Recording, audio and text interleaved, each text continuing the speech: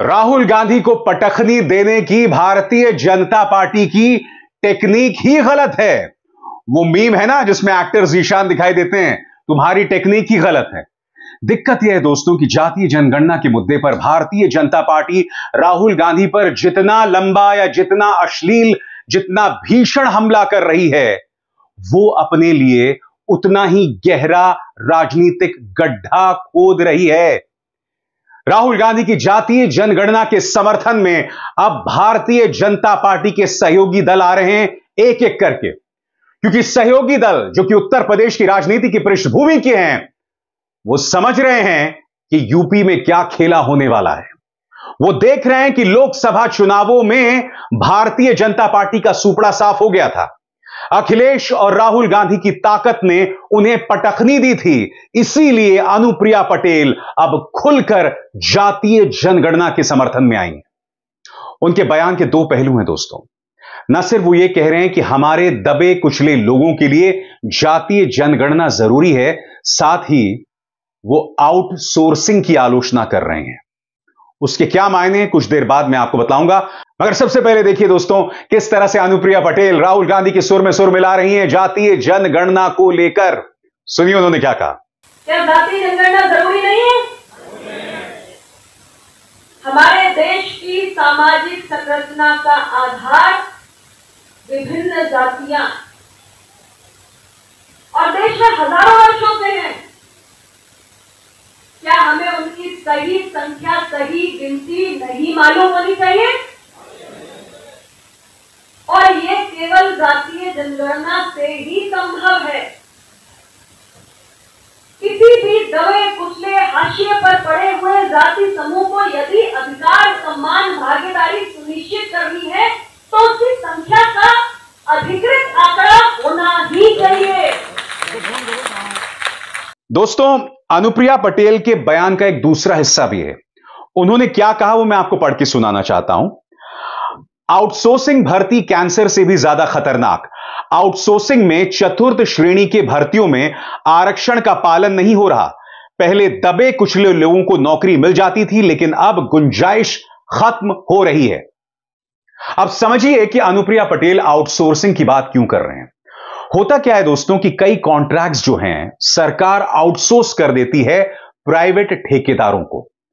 और ये प्राइवेट ठेकेदार अपने ही कुछ लोगों को हायर करते हैं, उन्हें नौकरी पर रखते हैं, जो उनकी जाति से हो सकते हैं।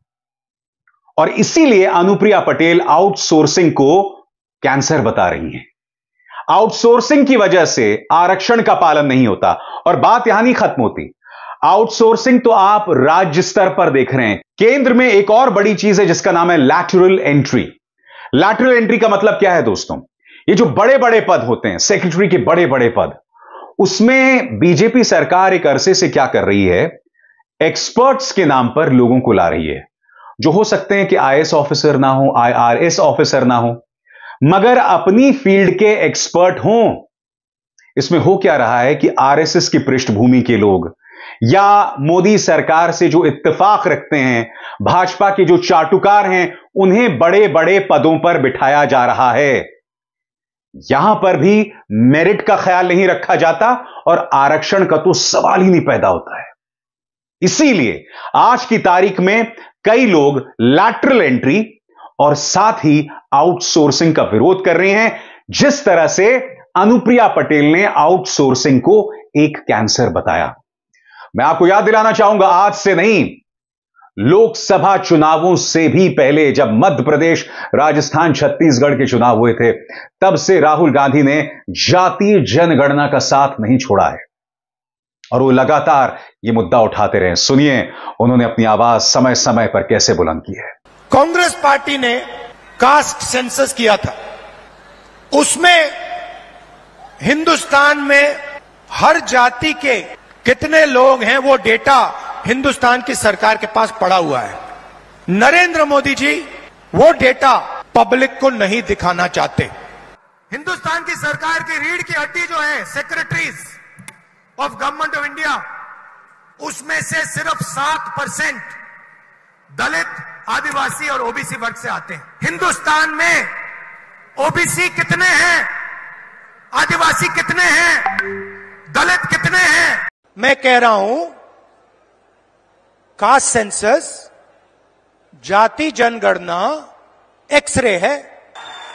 आदिवासी वर्ग को चोट लग रही है, ओबीसी वर्ग को चोट लग रही है, दलित वर्ग को चोट लग रही है। चलो, पता लगा लेते हैं। एक्सरे कर लेते हैं। दूध का दूध, पानी का पानी हो जाएगा, साफ़ हो जाएगा पूरा। मैं नरेंद्र मोदी को चैलेंज दिया। मोदी जी, आप प्रधानमंत्री हो, देश का एक्सरे करा दो। कांग्रेस पार्टी ने जाति जनगणना की थी। उसका जो डेटा है, मध्य प्रदेश की जनता के सामने ओबीसी युवाओं के सामने रख दो। भाजपा उनसे इस कदर चिढ़ गई थी, याद कीजिए, कंगना रनावत।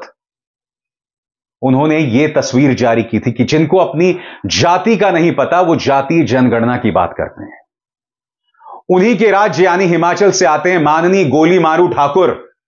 याद कीजिएगा वो शर्नाक लम्हा।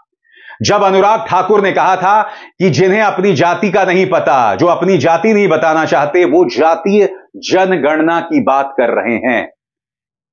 इसको लेकर राहुल ने कहा था कि मुझे अनुराग ठाकुर की माफ़ी नहीं चाहिए, मगर अखिलेश, वो नाराज़ हुए थे। वो नज़ारा क्या था दोस्तों? आइए देखते हैं। तो ओबीसी की बात, जनगणना की बात बहुत की जाती है। माननीय सभापति माननीय सभापति जी, माननीय सभापति जी जिसकी जात का पता नहीं, वो गन्ना की बात करता है। स्पीकर सर जो भी इस देश में दलितों की, आदिवासियों की, पिछड़ों की बात उठाता है, जो भी उनके लिए लड़ता है, उसको गाली खाना ही पड़ता है। और मैं ये सब गालियाँ, मैं ये सब गालियाँ खुशी से खुशी से खाऊँगा, क्योंकि महाभारत की बात हुई तो महाभारत में अर्जुन को सिर्फ़ मच्छी की आँख दिख रही थी। उसी प्रकार मुझे सिर्फ़ मच्छी की आँख दिख रही है। जाति जनगणना हम करा के दिखाएँगे। खत्म। आपको जितनी गाली देनी है आप दीजिए हम खुशी से लेंगे। सर अनु, अनुराग ठाकुर जी ने मुझे इंसल्ट किया है। मगर मैं अनुराग ठाकुर जी से कोई माफ़ी नहीं चाहता हूँ, मुझे कोई माफ़ी की ज़रूरत नहीं है। मैं लड़ाई लड़ रहा हूँ, जितनी आपको गाली देनी है, मैं आपसे कभी माफ़ी नहीं मांगू, मुझे आपकी माफ़ी नहीं चाहिए। इनसे ये पूछना चाहता हूँ, आपने जाति कैसे पूछ ली ये बताइए बस। आप जाति कैसे पूछ सकते हैं? आप बताएँ, जाति कैसे पूछ सकते हैं आप पूछ के दिखाओ जाति तुम आप जाति कैसे पूछोगे तुम दोस्तों, हर गुजरते दिन के साथ राहुल गांधी पर प्रहार बढ़ता जा रहा है। कभी अदालती मामलों में उन्हें फंसाया जाता है, कभी उनके खिलाफ दुष्प्रचार किया जाता है तो कभी जैसा कि कंगना रनावत ने किया, उनके बारे में वाहियात और अश्लील प्रहार और प्रचार किया जाता है। याद कीजिएगा, राहुल गांधी पहुँचते हैं वायनाड, वहाँ के लोगों का दर्द जानने, और भाजपा का जो ट्रोल मुखिया है अक्सर जो झूठ बोलते पकड़ा गया है अमित मालवीय, उनके बारे में एक झूठा प्रचार चलाते हैं कि लोग उनका विरोध कर रहे हैं। एक व्यक्ति जो बार बार राहुल गांधी को कह रहा था कि, बड़े भाई, आप मत जाइए, आपकी गाड़ी फंस सकती है, उसे अमित मालवीय ने विरोध के तौर पर पेश किया था। याद है कि नहीं वो वीडियो आपको? फिर से देखिए उसका एक छोटा सा अंश। इधर इधर इधर इधर इधर। दो मिनट है तो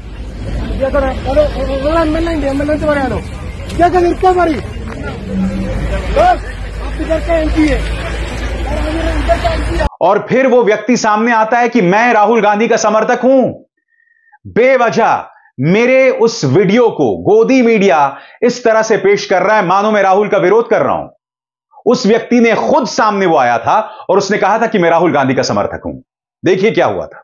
हाय सर मॉर्निंग मेरा नाम रजनास पहले आप देखे हो, ये वो आपका इधर आए ना, सूजीपारा पुतमल आया ना, इधर आया ना वो टाइम आप देखेगा मेरे को। वो मालूम नहीं, मेरा नाम आपको मालूम नहीं। अभी मालूम है, वो वीडियो देखे ना, अभी मालूम है। सर, वो मिसअंडरस्टैंडिंग है, वो चैनल वो केरला का एक सोशल मीडिया चैनल है ना, वो फेक है। आपका साथ में प्रॉब्लम नहीं है। आप मेरा एम पी है। सर, आपको साथ मेरे को प्रॉब्लम नहीं है। आप मेरा एमपी एमपी नहीं है। लाइक फैमिली मेंबर्स है ना। आप मेरे को पूरा आदमी पब्लिसिटी को बहुत करेगा। आप पब्लिसिटी के नहीं आप ऐसे बोलेगा। आप जेन्युइन पर्सन है, सर। आप जेन्युइन पर्सन है।